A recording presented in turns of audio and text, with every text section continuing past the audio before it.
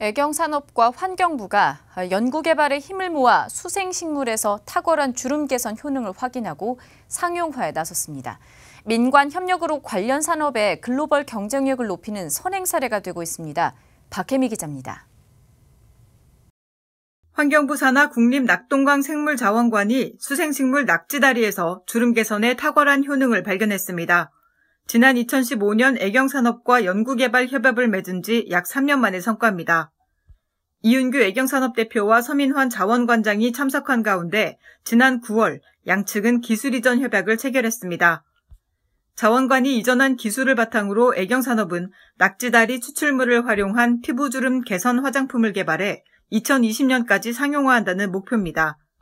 수생식물인 낙지다리 추출물에서 피부주름 개선 효능이 있다는 걸 처음 밝혀내 특허를 냈다는 데 의미가 있습니다.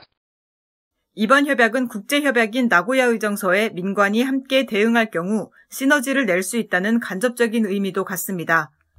각국의 생물자원 보호를 위한 나고야 의정서는 지난 8월 본격 발효됐습니다.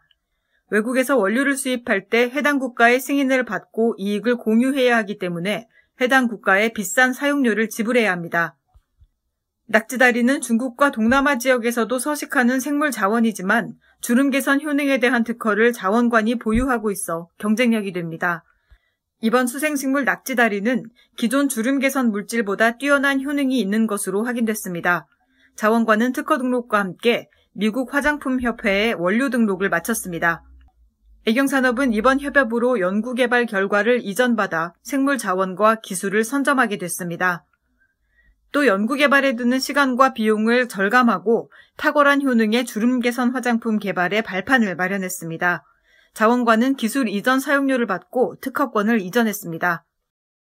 천연 소재, 바이오 소재 이런 것들을 이제 적극 발굴을 해야 되는 상황이 되었고요. 기술이 이미 갖춰져 있고 노하우가 이렇게 많은 그런 우수한 기관하고 협업하는 것이 어, 저희 입장에서 이제 시간하고 비용 측면에서 어, 유리한 점이 많기 때문에 빠른 시일 내에 아마 상용화될 것 같습니다. 기업과 기관의 협업이 시너지를 내면서 글로벌 산업 경쟁력을 한 단계 끌어올리는 계기가 되고 있습니다. 아시아경제TV 박힘입니다.